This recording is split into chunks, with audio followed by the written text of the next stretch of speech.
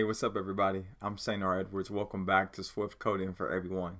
So, in this lesson, we're going to continue on in our personality quiz, and I have our steps open of what we're going to accomplish in this particular lesson. So, we're going to work on displaying um, the results to our players. All right, so this is what we're going to do in this lesson. Uh, first of all, we are going to um, create a next question function and that's number one. Number two is we're going to initialize an empty collection that stores the player's answers. We're going to create an IB action uh, for the single answer button pressed, and we're also going to create a switch statement for the single answer button pressed uh, action as well. All right, so let's go ahead and get started. All right, first things first is creating a simple next function, and I already have it up here, so this is what we're going to do. So right underneath this comment here that I have, we're going to just do this. We're going to say func. We're just going to say next question. And we're going to leave it empty right now. The reason I'm why I'm doing this now is because if you don't do it right now, you're going to just have, you know, the red uh, warning um, symbols everywhere or errors. And we don't want that. So I just created this empty function. We'll add to it later on in a few more videos. All right.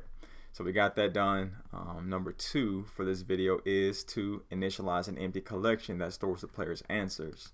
And so we need to, we need a way uh, to to store everything that the user um, you know uh, gives or, or, responds to in the app, all their answers. And so all we're going to do is create a collection, an array, an empty array uh, for that, and you'll see why here in a little bit. All right, so this is what we're going to do. So I got um, this right underneath the properties area. So what I'm going to do is I'm going to just say var um, chosen answers. And it's going to be of type um, answer. I'm just going to do an empty array. All right, got that. Number three, what we're going to do, I have it down here, is we need to create an IB action called single answer button pressed of type UI button and we're going to connect all four buttons in the single stack view to the same control. So that's what we're going to do. So with uh, questions VC highlighted over here in the document outline, I'm going to hold option and click on the main.storyboard to open up the assistant editor. And I am going to, we're going to do just that. So our single answer button press, I got the multiple open right now. So I've got the single open now. And so I'm going to control click and drag from the first button uh, down there right underneath uh, number three. I'm going to release. It already says uh, action for me. In this case, I'm using the beta version of Mojave. As you can see, the the dark version on the screen. I think it's pretty cool. Even though right now it's technically daytime for me, but I like this dark version. So I'm going to call it. Uh, we're going to say single button uh, our single answer button pressed. Alright, we're going to change the type from any to UI button.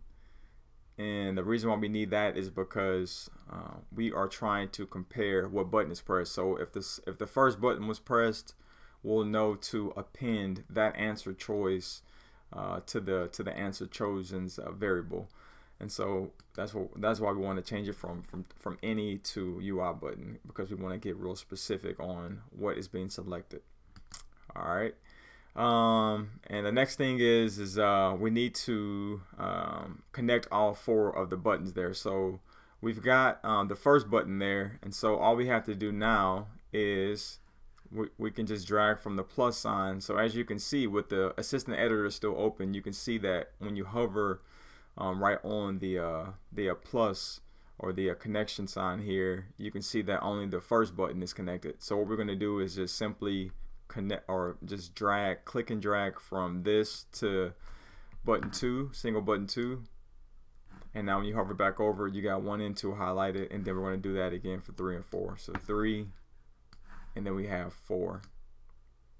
All right, so all so all four of those are connected. And now the next thing we need to do is we need to create a switch statement for the single answer button pressed uh, and the IB action and create a constant to hold all the answers and go through each case for the four buttons. And then we're at the end, we're going to append the answers to answers chosen. answers chosen, and then we're going to call the next question function. All right, so let's do that. So I'm going to close out of the assistant editor. Let's go to standard editor, and we're going to do just that. So let's do this. So we're going to say let current answers equals, and we'll say question, and then we'll say question index to get the number, and then we'll say dot answers. All right, and now we need to do um, we need to do our switch statement, right? So let's do this. So we'll say uh, we're gonna say switch sender sender. And for our single answer uh, but we're going to do this. So we're going to say case uh, and we'll say uh, single button one. We'll do our colon hit enter and we and we want to say um, chosen answers dot append. And the new element is going to be current answers and then since this is the first button we'll say zero so whatever that was in that case. All right, and then next we're going to do the same thing. So I'm just going to make this easier on us. I'm going to copy and paste this a couple more times, guys. Um, remember, you got to make sure when you're doing it by this method, you got to make sure that you're just doing it right. So you got to make sure you change everything. So what we're going to do now is we're just going to go from single button 1 to 2, and we're going to change our current answer from 0 to 1. For this one, we got 3, and then here we're going to go from one or, or zero to two. And then our last one's going to be button four and then we're going to go from two to three. All right? And so we've got all that. And then the last thing we need to do is um, we need to break out of this actually. So what I'm going to do is is I'm going to say or we got to do a default case too. So I'm just going to say um, default default all right it has to be exhaustive. And then we're going to say break uh, to get out of it. And then we're going to call our next question function. All right.